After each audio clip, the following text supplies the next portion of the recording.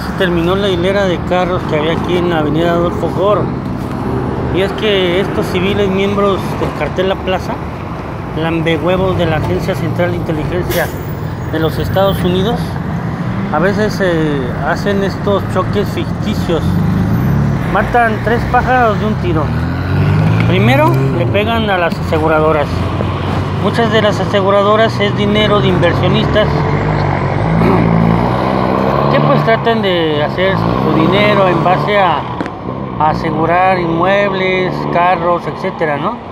Y entonces como estos del cartel La Plaza, estos civiles del CISEN son vividores, entonces y aparte explotadores, este, hacen choques ficticios y hacen todo un teatro ahí, esos carros si pudieron apreciar no tienen nada.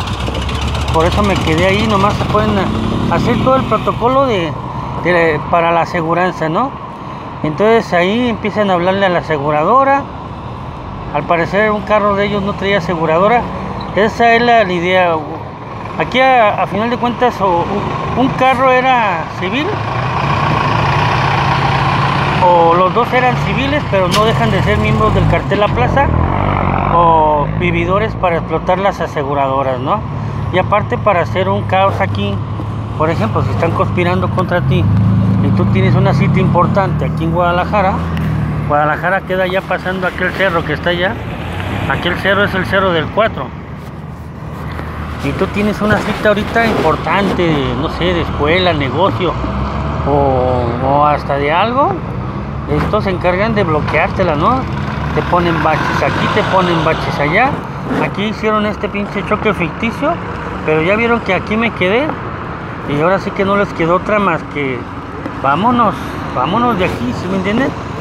Porque estaba aprovechando yo el, el viaje, vi la oportunidad y dije, bueno, aquí me quedo a ver qué información me puede llegar, ¿no? Todo es posible en este mundo. Pero sí, estos son vividores, explotan las aseguradoras, le sacan el dinero y terminan aventándolas a la quebra, ¿no? Porque una aseguradora, imagínate, tu negocio de las aseguradoras es, que te estén dando 100 pesos cada mes. Es un ejemplo, ¿no? Pero si en un año no tuvieron ningún choque, tú no hiciste ningún gasto. Pero sí de, de esa ganancia, de esos 12 mil, de esos que serían, si son mil, son 6, 6 1200 de esos 1200 que te estuvieron aportando pues tú les regresas una compensación de un 10 20% por no haber chocado no y ya la ganancia es para las aseguradoras Pero si los carros empiezan a chocar, a todos los carros que tú tienes asegurado chocan y chocan y estás gastando y estás gastando, pues terminas aventándote la quebra. Entonces aquí sí pudieron apreciar en, la grabación, los carros no tienen ningún solo choque, ¿eh? Además le estaban haciendo aquí al loco, haciendo un caos en la avenida, esperando a que llegue tránsito, la aseguradora. A final de cuentas, las aseguradoras como ellos son lambehuevos porque, por ejemplo, tú eres inversionista, pero los que trabajan en las aseguradoras, ¿quién te asegura si son civiles o también son infiltrados para explotarte y quebrarte? Pero ya vieron, aquí nos quedamos, ya el, tráfico ahora sí que se disolvió como la nieve como la nieve al, al sol como el azúcar al agua o como la saliva al desierto, ¿no? Ahora es 5 de agosto del año 2019, estamos aquí sobre Avenida Adolfo Cor, frente al fraccionamiento, este fraccionamiento la verdad ni sé ni cómo se llama, ¿eh? pero ahí está.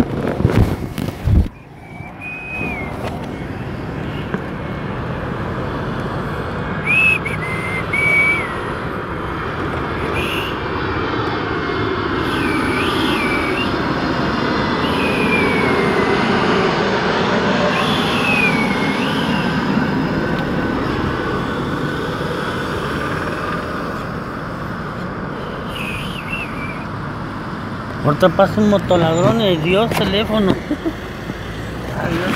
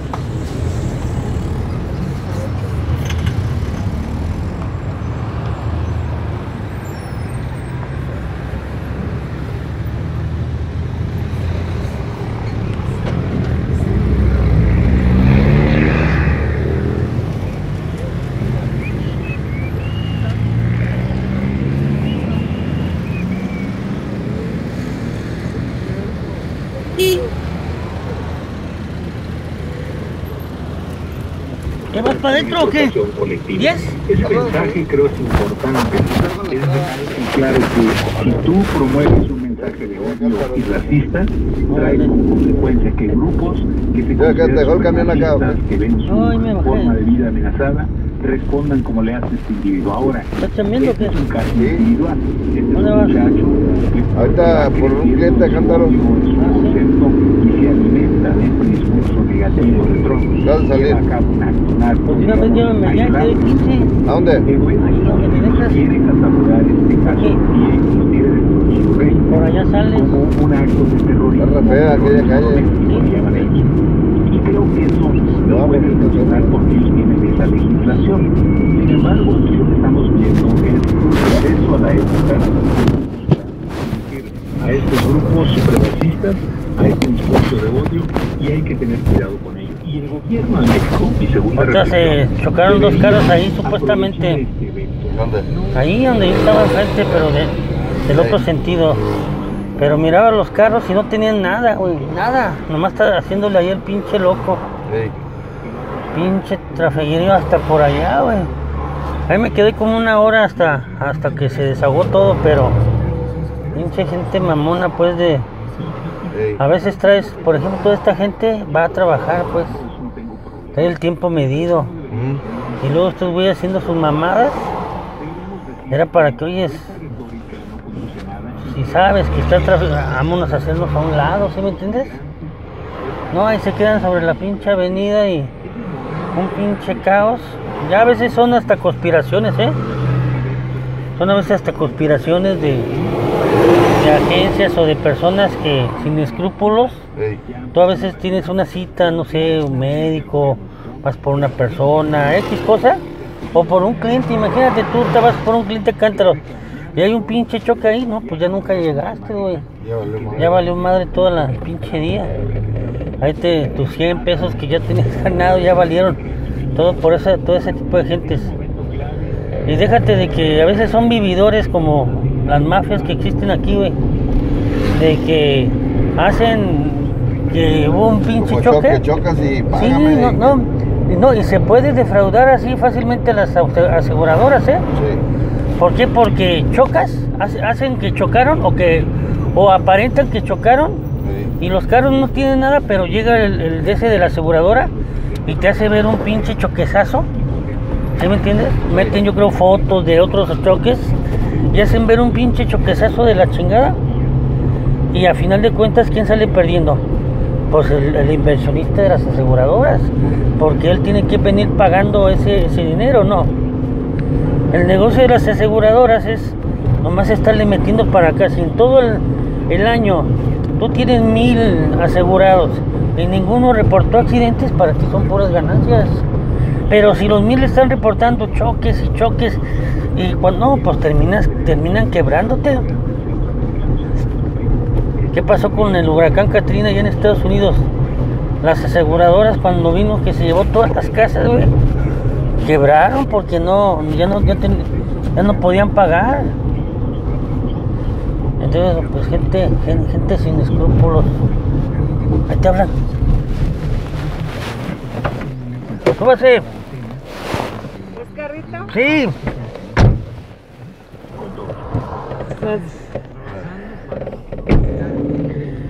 Sí, ya te digo, mano. No, me quedé ahí nomás para ver, a ver qué. Y, y ya nomás me vieron y vámonos, cabrones. ¿Sí?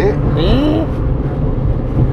To- Entonces se quedaron un ratillo ahí a- que averiguando y se me quedaban viendo y, y vámonos, ya mejor. Ni siquiera vi que, que oye, págame, ¿sí me entiendes? Nomás. O sea, a cada quien se subió a su carro y vámonos, cabrón.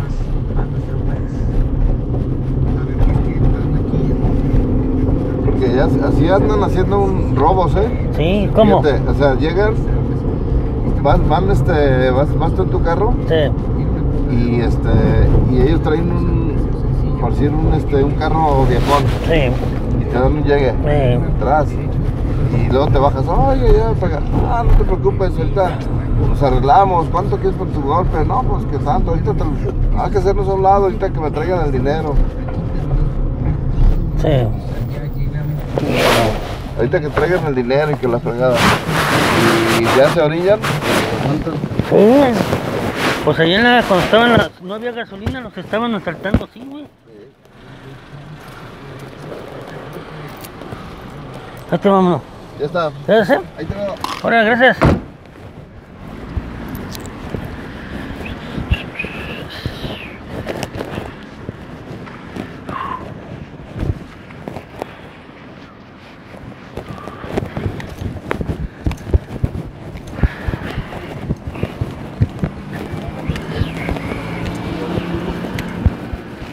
Yeah.